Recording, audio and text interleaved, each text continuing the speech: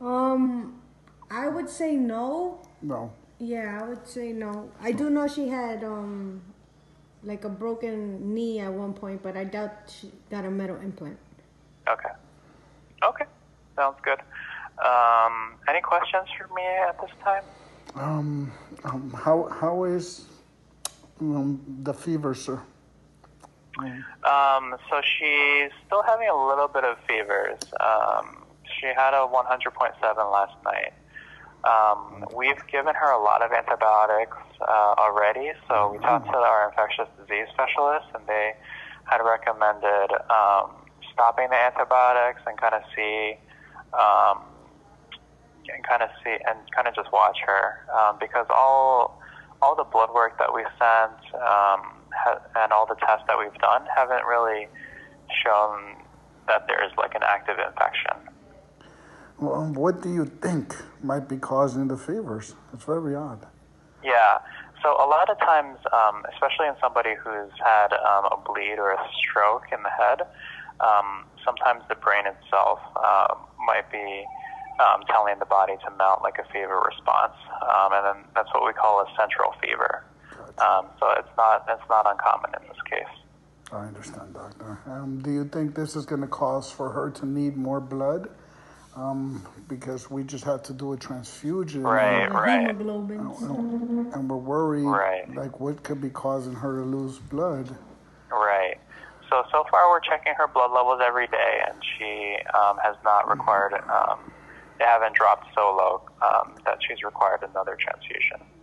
Okay, but but it is something that could be typ- typical in her situation. Um, the fevers. Um, um, the loss of blood and needing more transfusions. So I think um, I think if we if we see another major drop, um, again, like um, that's another that's another reason why we um, wanted to the uh, um, the study. Sorry, the the studies that we've um, done so far haven't really revealed like any major source of bleeding, and we have personally haven't seen any bleeding from whether that's from her from her mouth or um, in her stool. Um, but something we'll keep checking every day.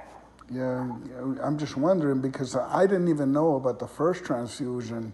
Um, They told me that they had one in the previously, and that was the first time it was mentioned. Now that they had to give her another transfusion, and Right. You know, I'm hoping that she's not having internal bleeding somewhere, and we're just Yeah. not finding it. Yeah. Um, so far, we haven't seen any, but we'll, you know, we're definitely on top of it and monitoring that every day. I appreciate that, doctor. I appreciate everything you and your team are doing. God bless you guys.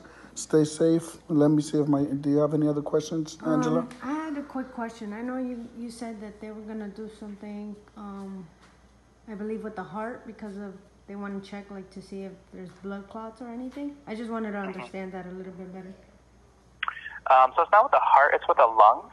Oh, the lung. Um, because in a lot of, uh, for whatever reason, we've also seen in COVID patients, um, they have a tendency to develop cl- blood clots.